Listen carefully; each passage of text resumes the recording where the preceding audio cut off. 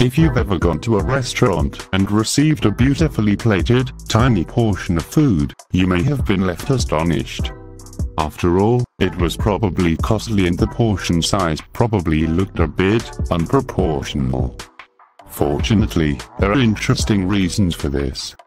In this video from Brightside 2, we explain the reasons why servings at high-end restaurants are getting smaller and smaller. Let us warn you, you may end up surprised and curious to try fine dining. Number 1. Dishes with refined, carefully chosen ingredients are quite common to find in high-end restaurants. A pound of beef could go for $200 and a kilogram of caviar costs about $10,000. Imagine creating a full pack dish with these and adding Italian white truffle, about 7,500 per kilogram. The price would be extremely high. Considering that these places, which use high quality ingredients, may even import them, it is easy to understand why portions have to be smaller in order to provide an affordable end price of the dish. Number 2. Smaller servings will be easier to style, and will probably look more elegant, for the customer, who enjoys it, first with their eyes, and then with their palate. Number 3. Usually, most restaurants serve a three-course meal, with an appetizer, the main dish, and a dessert. Sometimes, we even end up ordering just the main dish. In fine dining, the number of courses may add up to 12 different dishes. Those 12 courses include finger foods, appetizers, soup, salad, fish, a first main course, a palate cleanser, the second main course, cheese, dessert, and a drink or pastry. Imagine eating all of that if they were served in regular portions.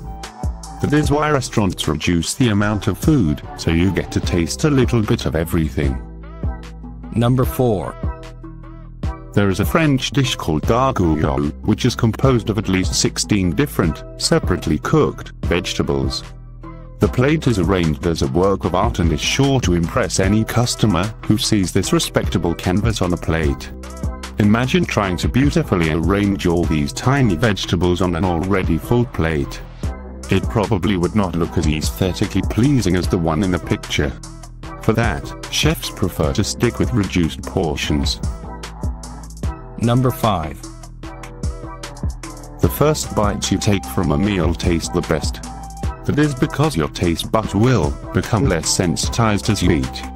Knowing that, chefs focus on the dish's quality rather than the quantity.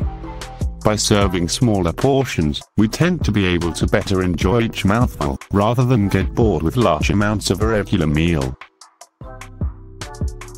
Number 6. Being part of an exclusive event, or owning a limited edition object, is something some of us feel proud of. The saying, less is more and good things come in small packages, firmly applies to this one.